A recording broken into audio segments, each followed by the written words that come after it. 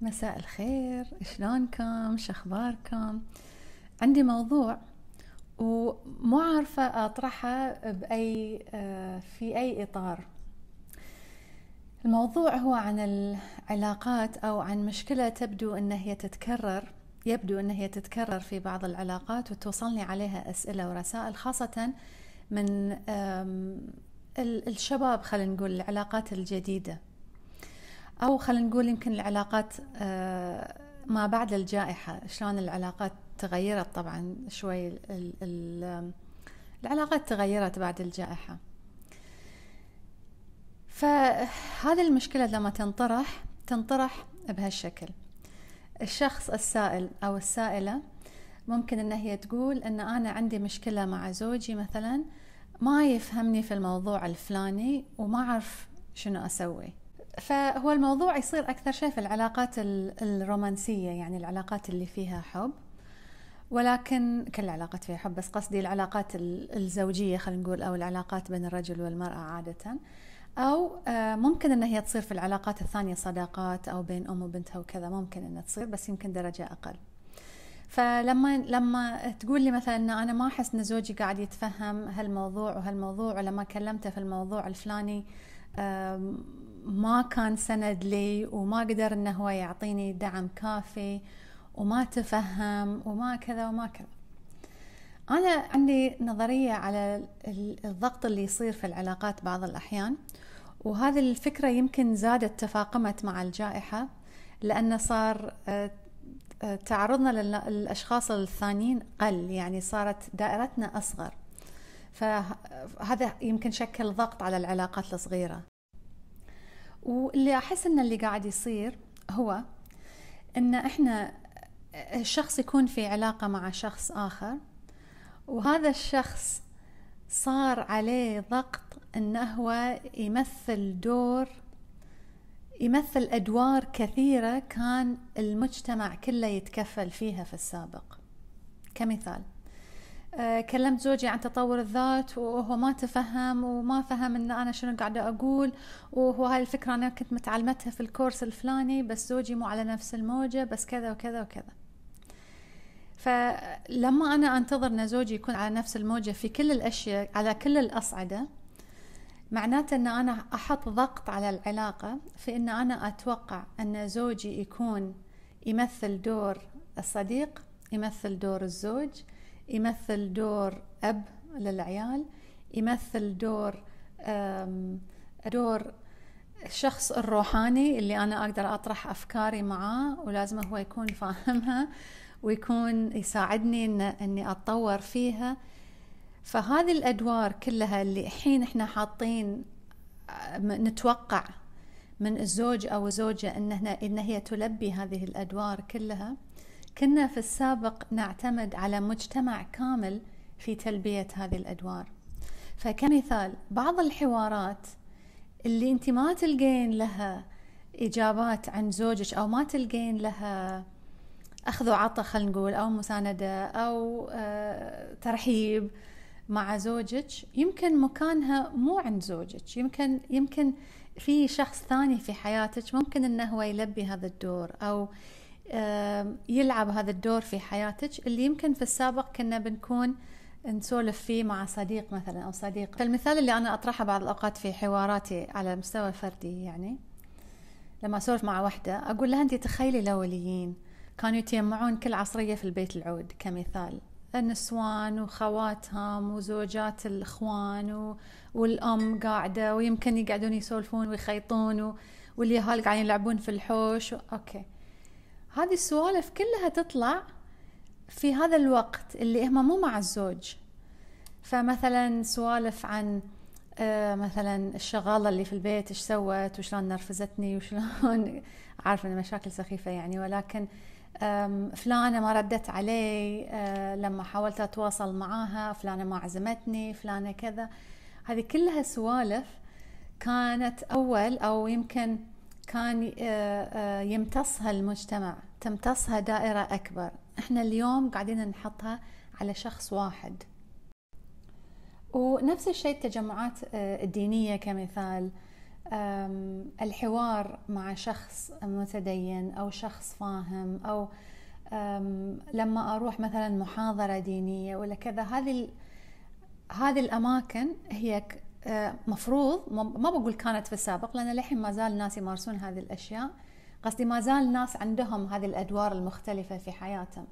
بس لما أنت تتوقعين إن حتى هذا الزوج أو الزوجة هو دوره أيضا انه هو يتحاور معي حتى في الأشياء الروحانية وفي الأشياء اللي تعلمتها وفي المبدأ الكذا وفي التطور الذاتي الكذا لابد انه هو بيفشل في جانب من هذه الجوانب. وما فشل لأنه هو زواج فاشل. فشل لأن أنا قاعد قاعدة ألبس هذا الزواج أدوار أكثر من ما هو قادر يحتملها. ف... فودي إن إحنا نفتح هذا الموضوع للحوار يعني. فأحس إن إحنا اليوم ضغطنا على العلاقات خاصة بعد الجائحة لأن دائرتنا صارت أصغر. فأنا يمكن يوم كنت أول مثلا بروح تجمع آه، يوم الجمعة كمثال وبفضفض وبسولف. الحين قل التجمع وصغر الحين مثلا ما تشوف بنات خالتي ما تشوف بنات عمي ما تشوف كذا ما تشوف كذا. صغرت هذه التجمعات. فبديت أنا أتوقع من هذه العلاقات اللي بقت لي حتى لو هي صغيرة يمكن بس أختي وصديقتي وزوجي كمثال يمكن توقعاتي من هذه العلاقة زادت شوي فتقوم تضغط تضغط على العلاقة. فأحس أن هذه التشكيلة الجديدة للمجتمع الجديد اللي عنده تباعد وعنده كذا ولو أنه الحين خفت هالأشياء بس أحس أنه ضغط غير أنه هو التوتر وتوتر الجائحة والقلق اللي صار والهذا كله الخوف اللي انتشر أحس إن هذا الجانب أيضا بدأ يضغط على العلاقات لأن صرت أتوقع إن هذه العلاقة تلبي لي كل الجوانب اللي أنا أحتاجها. فالسؤال اليوم هو يعني أنا يعني أبيكم بس تفكرون معي هل استطيع هل أنا ضاغطة على العلاقات اللي عندي الحين خاصة العلاقات اللي فيها شوي تشويش؟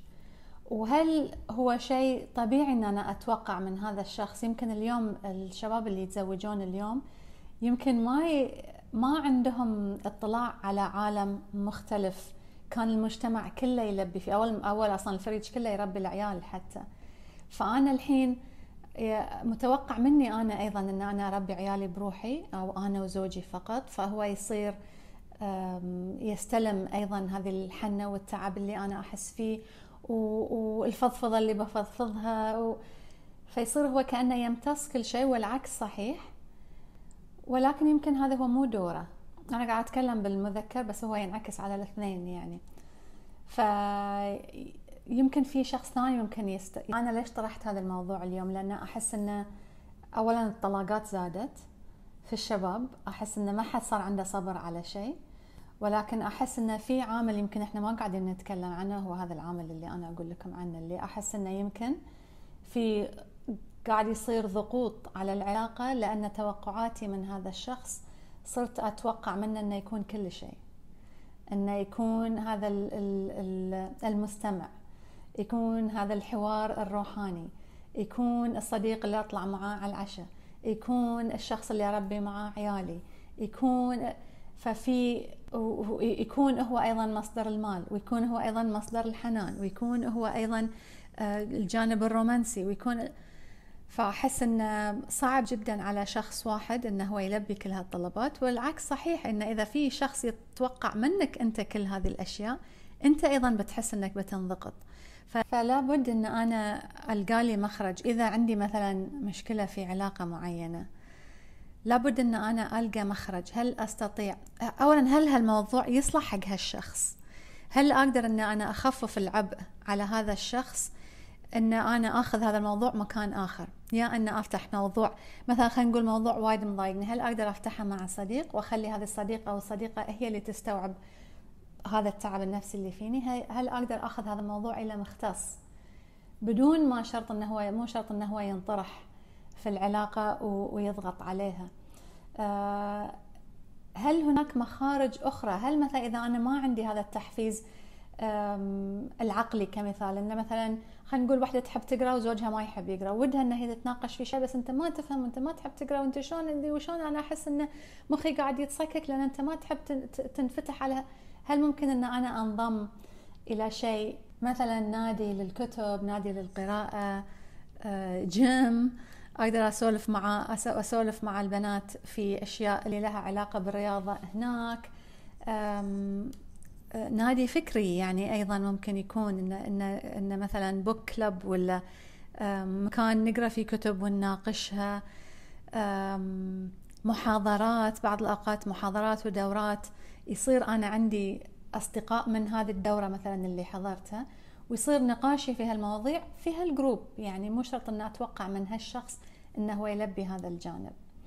فبس هذه الفكرة اللي كنت حابة أطرحها معاكم اليوم وودي إن نفكر مع بعض عشان إحنا بعد نبدا نتعلم شلون ننصح الآخرين خاصة اللي اللي مقبلين على الزواج ولا اللي توهم تزوجوا إن ترى مو لازم لأن القصص والتلفزيون والأفلام كلها تعطيك انطباع انه المفروض يكون كل شيء. ولما هو ما يقدر يقول يكون كل شيء لأنه مستحيل بيقدر يكون كل شيء معناته إنه لا أكيد في شيء غلط. وأنا مع تطوري هذا الشخص خلاص لا ينتمي لحياتي مرة ثانية وأنا بقوم آه، بنفصل أو بقطع العلاقة أو بفكر في نفسي وبتطور لأنه هو مو ملحق مع التطور. حتى التطور في جوانب معينة ممكن أنت مو شرط إنك تتكلمين معاه فيها يعني. والعكس صحيح ممكن إنه هو في جوانب من عمله مثلا. ما قاعد يجيبها لك البيت ويسولف لك فيها وإلا لازم تفهمين لازم تروحين تسوين كورس في الموضوع ولا ذاك الموضوع. عشان تلحقين معاي. ف... فخلونا نبحث عن أشخاص آخرين نكبر الدائرة شوي.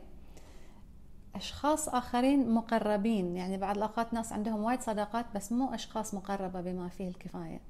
فأشخاص آه، نكبر الدائرة من الأشخاص المقربين اللي أقدر أدخل معاهم في هذه الحوار الحوارات أو مجموعات خارجية أنضم لها. المهم ان أنا ودي أسمع رأيكم في هالموضوع لأن أحس إنه وايد في ضغوط قاعدة تصير داخل البيوت ويمكن أنا أشوفها يمكن المختصين أو المعالجين يشوفونها أكثر بس هذه الضغوط اللي داخل البيت قاعدة تأثر على الجسد أيضا. فممكن حتى دفتر وقلم يكون هو المخرج لي هو المنفذ مو شرط يكون شخص أنفس له يعني ولازم أشرح له ولازم يتفهم ولازم كذا. المهم قولوا لي أنتم إيش رأيكم في هذا الموضوع؟ حطوا لي تعليقكم ودي أعرف رأيكم. وودي أشوف إنه يمكن حتى عندكم اقتراحات ثانية يعني ممكن الواحد يطلع فيها بحلول غير الانفصال و, و... هذه الانقطاعات اللي قاعدة تصير في العلاقات. يعني أحس وايد قاعد يصير تقطع لأن الناس متوترة ومشدودة وكل واحد ينتظر أحد يتفهمه. ف أنتم قولوا لي رأيكم. إيش رأيكم في الموضوع؟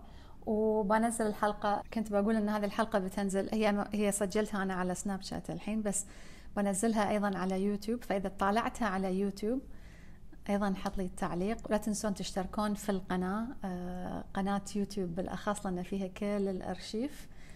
وودي إني أستمع منكم. وإذا أحد منكم حاب إنه يدخل في دورات ندخل فيها في العمق أكثر. فيها المواضيع ومواضيع غيرها أيضا. آه، أكاديمية عليا عليا أكاديمي دوت كوم ممكن تسجل فيها في الدورات. وبس ممتنه لوجودكم ونراكم إن شاء الله في حلقات قادمة.